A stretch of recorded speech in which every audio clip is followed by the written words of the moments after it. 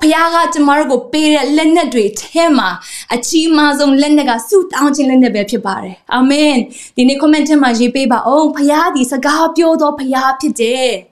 ဖခင်ကိုတင်စကားပြောတဲ့အခါမှာအမြဲတမ်းပဲအဖြေဖခင်ကပေးတာဖြစ်တယ်ခုနအကျိုးမြတ်အကြီးကြီးတော့တင်ရချင်မှရအောင်မယ် ဒါပေမဲ့ရှုံးသွားတဲ့အရာဒီနေ့စိတ်ဆိုးတတ်တဲ့အရာတွေကျမတို့ရဲ့တာမှာမရင်ကျက်တဲ့အရာတွေကိုဆူတောင်းခြင်းအပြင်ဖခင်နဲ့စကားပြောခြင်းအပြင်ဖခင်နဲ့ကျမတို့တွာလာတတ်ခြင်းအပြင်ဒီအရာတွေကတဖြည်းဖြည်းနဲ့နဲသွားပြီးတော့မှကိုရိုနီးသူ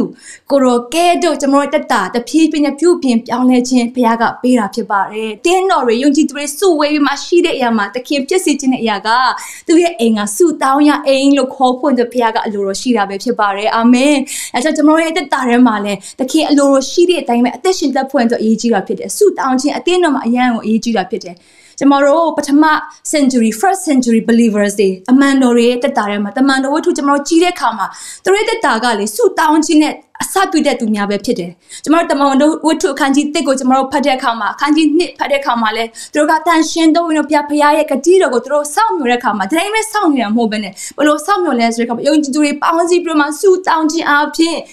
ဒီနေ့ဖခင်ရဲ့ဂတိတော်ဖြစ်တဲ့တန်ရှင်တော်ဝိညာဉ်ကိုစောင့်မျှော်နေတာပဲဖြစ်ပါတယ်။အာမင်ဒီလိုမျိုးဆုဝေးတဲ့အလယ်မှာကျမတို့တွေဆုတောင်းခြင်းအလယ်မှာဖခင်ရဲ့ဝိညာဉ်ဆင်းသက်တဲ့အခါမှာတို့ရဲ့တမတကိုးကိုခံရတာဖြစ်ပါတယ်။အသင်းတော်ကိုစာတန်ကအတိုက်ခိုက်ခြင်းဆုံးပဲဖြစ်ပါတယ်။အဲကြောင့်ကျမတို့အနေနဲ့အသင်းတော်ကိုကအသင်းတော်ထဲမှာရှိမိသားစုတွေအနေနဲ့စာတန်ကိုတိုက်လိုက်နိုင်တဲ့လက်နဲ့ဖခင်ပေးလက်နဲ့ကဆုတောင်းခြင်းလက်နဲ့ပဲဖြစ်ပါတယ်။ဒီဆုတောင်းခြင်းလက်နဲ့ကမလုတ်မလုတ်ခြင်းဆုံးတော့အရာဖြစ်မဲ့ဖခင်ထဲမှာကျမတို့တွားတဲ့အခါမှာဖခင်ခွန်အားကျမတို့ကိုပေးတဲ့အခါမှာဆူတောင်းနိုင်တဲ့အခွင့်ကိုဘုရားပေးနာပေးလာမှာပဲဖြစ်ပါတယ်အတင်းတော်တွေညင်ပန်းနေစချင်းခံရတဲ့အရာမြောက်များဆိုကျွန်တော်တို့အနေနဲ့ကြားနေရတာဖြစ်တယ်မြင်နေရတာဖြစ်တယ် physically ပေါ့နော်ကိုခန္ဓာပိုင်းဆိုင်ရာမှာညင်ပန်းနေစချင်းမရှိသည့်တိုင်အောင်ကျမတို့ကိုအသွေးခေါ်အားဖြင့်ဖြစ်ပါစေကျမတို့ကိုထောချလုပ်နေတဲ့အရာညင်ပန်းနေစတဲ့အရာမြောက်များစွာရှိနေတာပဲဖြစ်ပါတယ်အဲကြောင့်ကျမတို့ရဲ့တက်တာထဲမှာ မိသားစုများသူတို့ကပေါင်းစည်းတဲ့အခါမှာကျမတို့အနေနဲ့သူတို့ကအဆုတောင်းခြင်းလုပ်ဖွင့်အတွက်တကယ်ပဲအရေးကြီးတာပဲဖြစ်ပါတယ်ကျမတို့ဆုတောင်းတဲ့အခါမှသာလဲအာမင်ကျမတို့တနည်းတနည်းတည်းဖခင်ရဲ့မတော်ထဲမှာကျမတို့တွားတဲ့အခါမှသာလဲကျမတို့ရဲ့အသက်တာထဲမှာဖခင်ရဲ့ကာကွယ်ခြင်းကိုအထူးပဲခံစားရမှာဖြစ်ပါတယ်ဆုတောင်းခြင်းဆိုတဲ့အရာကလေကိုဟာကိုကာကွယ်တာဖြစ်တယ်လို့ပဲကျမတို့မရောက်နိုင်တဲ့နေရာမှာကျမတို့မတွားနိုင်တဲ့နေရာမှာပြင်လေအဲ့ဒီဆုတောင်းခြင်းကရောက်သွားပြီးမှကာကွယ်ခြင်းကိုလည်းပြုတဲ့အရာပဲဖြစ်တယ်ကျမတို့ယုံကြည်သူတွေ ဆူတောင်းခြင်းအားနည်းလာတဲ့ခါမှာ အသင်းတော်တွေထဲမှာစာတန်ရဲ့တိုက်ခိုက်တဲ့အရာကိုလည်းပို့ပြီးမှမြင်တွေ့လာရတာဖြစ်ပါတယ်။ကျမတို့လိုမျိုးစာတန်တိုက်ခိုက်တဲ့အရာတွေညင်ပတ်နှိမ့်ဆက်ခြင်းကိုတားရမြင်တဲ့အခါမှာကျမတို့ရဲ့ထွက်ပေါက်တစ်ခုတည်းလဲဆူတောင်းခြင်းပဲဖြစ်ပါတယ်။ကျမတို့ဆူတောင်းတဲ့အခါမှာဘုရားရဲ့အတန်ကိုကျမတို့ကြားတတ်တဲ့အခါမှာဘုရားရဲ့ဝိညာဉ်ကျမတို့တန်မှာဆင်းသက်တဲ့အခါမှာကျမတို့တန်မှာနှုတ်ပတ်တော်ကိုဟောပြောတတ်တဲ့ခံဖို့ရိနဲ့နှလုံးသားမြောက်ဘုရားပေးလာတာဖြစ်တယ်။တကိုးပါသောစိတ်တွေဘုရားပေးလာတာဖြစ်တယ်။ချစ်တတ်တဲ့စိတ်တွေဘုရားပေးလာတာဖြစ်တယ်။ရှင်းတဲ့စိတ်တဘောထားဘုရားကပေးလာတာဖြစ်တယ်။အဲ့ဒီအရာကကျမတို့ဘုရားနဲ့နေ့စနေမှာတွေ့ထိခြင်းယဉ်ဤကြောင်းဝင်ခြင်းအပြင်ပဲရရှိတဲ့အရာများပဲဖြစ်တယ်။ကျမတို့ကိုဖျားပေးတဲ့ခေါင်းသမန်တွေကျမတို့အနေနဲ့ဆုတောင်းဖို့သူတို့ကကျမတို့နဲ့တူတူကလက်သွဲဖွင့်သူအစဉ်သင့်ရှိနေတယ်။ ကျမတို့ကိုအောင်မြင်ခြင်းပေးဖို့အစဉ်သင့်ရှိနေတဲ့အရာကိုကျမတို့ကတန်ဖိုးမထားဘူးကျမတို့ဆုမတောင်းတဲ့အခါမှာခေါင်းတမန်တွေအလုပ်လုပ်လို့မရဘူးယုံကြည်သူတွေစသည်မှာဆုတောင်းတဲ့အခါမှာခေါင်းတမန်အလုပ်လုပ်ပြီးမှပေတီကိုကဲတင်တယ်ကျမတို့တွေ့ရဖြစ်တယ်ဒီပေတီကိုဒီချိန်မှာကျမတို့ကြီးတဲ့အခါမှာသူ့ရဲ့တမန်ထွတ်မြလမ်းမရှိတော့ဘူးဘာကြောင့်လဲဆိုတော့ခါမှာ तू ကတန်ကြိုးနှစ်စင်းနဲ့ချင်းချောင်ချင်းခံရတယ်စစ်သူရဲ့နှစ်ယောက်ရဲ့အလဲမှာလဲ तू အရှိနေတယ်အဆောင်ကြီးကလည်းထောင်တကားရှိမှဝမ်းရက်နေတယ် ဒါပေမဲ့ယုံကြည်သူတွေဆုတောင်းတဲ့အခါမှာလေယုံကြည်သူတွေကအဲ့ထောင်မှာမရောက်နိုင်ပေမဲ့ဆုတောင်းခြင်းအချိန်ကရောက်သွားတဲ့အခါမှာခေါင်းရမအလုတ်လုတ်ဖို့အတွက်ဘုရားရဲ့ပြင်ဆင်ခြင်းကိုမြင်တွေ့ရတာဖြစ်ပါတယ်အာမင်ကျွန်တော်ရဲ့တာထဲမှာမတော်လွားနိုင်တဲ့အရာတွေရှိနေတယ်ဆိုလို့ရှိရင်ကျွန်တော်ရဲ့တာထဲမှာမထိုးဖောက်နိုင်တဲ့အရာရှိနေတယ်ဆိုလို့ရှိရင်လူတွေနဲ့မတတ်နိုင်တဲ့အရာရှိတယ်ဆိုလို့ရှိရင်စားတယ်ပြီးမှဆုတောင်းဖို့အရေးကြီးတယ်အာမင်ဘာကြောင့်လဲကျွန်တော်ဆုတောင်းတဲ့အခါမှာခေါင်းရမအလုတ်လုတ်တာကိုကျွန်တော်တို့ကခံစားမှာဖြစ်တယ်ခေါင်းရမတွေကကျွန်တော်တို့နဲ့တူတူကအလုံးလုံးဖို့ဖျားခင်စေလွတ်ထားတဲ့အစေခံနာဝိညာဉ်များပဲဖြစ်တယ်။ဒါကြောင့်